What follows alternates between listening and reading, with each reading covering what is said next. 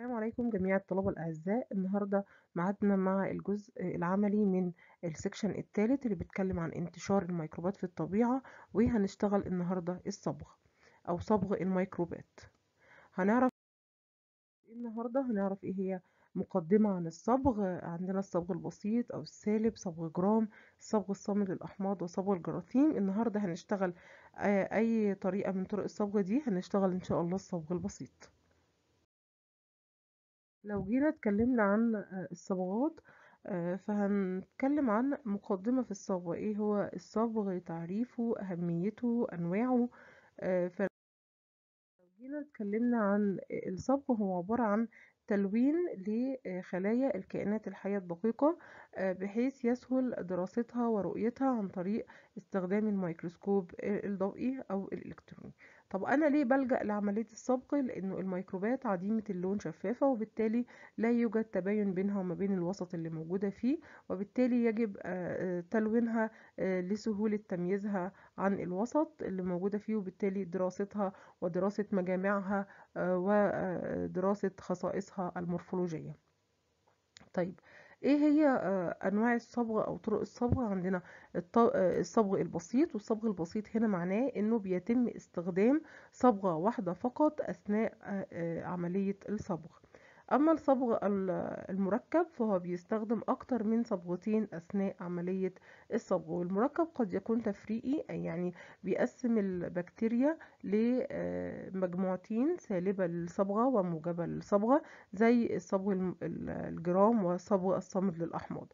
أما الصبغات الخاصة فدي صبغات بتستخدم في تلوين وصبغ المحتويات الداخلية للبكتيريا لسهولة دراستها زي صبغ الجراثيم زي صبغ الأصوات زي صبغ الكبسول أو المحتويات الداخلية. طيب لو جينا نتكلم عن الصبغ البسيط بنعمل فيه إيه؟ بنحضر غشاء رقيق متجانس من البكتيريا النامية على شريحة زجاجية.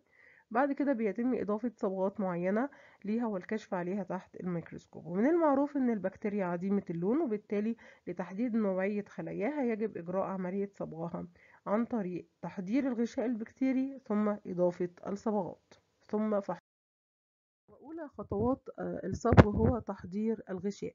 وتحضير الغشاء البكتيري استعدادا للصبغ بيتم على عدة خطوات.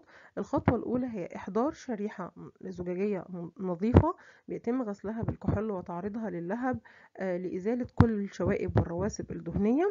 بعد كده بيتم وضع نقطة مية على الشريحة ثم إحضار المزرعة البكتيرية المراد فحص خلاياها عن طريق الصبغ بواسطة الإبرة ذات العقدة بيتم أخذ غمسة من المزرعة ثم فردها على الشريحة الزجاجية. ولحد هنا يبقى إحنا حضرنا الغشاء. الخطوة اللي بعد كده بيتم تثبيت الغشاء البكتيري وذلك عن طريق تعرضه للهب كما يلي لمنعا لفقدانه. بيتم إمراره في اللهب من مرتين لثلاث مرات حتى يتم تثبيت الغشاء. الخطوة اللي بعد كده خطوة الصبغ. يبقى بيتم تحضير الغشاء استعدادا للصبغ. الصبغ البسيط زي ما عرفناه هو بنستخدم صبغة واحدة فقط أثناء عملية تحضير الغشاء وأولى خطوات الصبغ إنه بيتم إحضار الشريحة المثبت بها الغشاء البكتيري بيتم استخدام صبغة أزرق الميثيلين عن طريق غمر الغشاء بصبغة أزرق الميثيلين لمدة 30 ثانية أو نص دقيقة. بعد انتهاء وقت الصبغ بيتم غسيل الغشاء البكتيري بالماء والتجفيف الهوائي لمدة 3 دقائق أو تجفيفها في أعلى نقطة من اللهب استعدادا للفحص. بيأتي بعد ذلك الفحص الميكروسكوبي باستخدام العدسة الزيتية ذات تكبير 100 X ويتم تدوين الملاحظات في الكراسة الخاصة بك حيث نجد أن الميكروب اللي كان عديم اللون أو شفاف أخذ لون الصبغة المستخدمة اللي هي اللون الأزرق لون صبغة الميثيلين وبالتالي يتم رؤية الميكروب ذو أزرق اللون باستخدام العدسة الزيتية ذات قوة تكبير 100 X. شكرا لكم وإلى اللقاء في ال section التالي بإذن الله.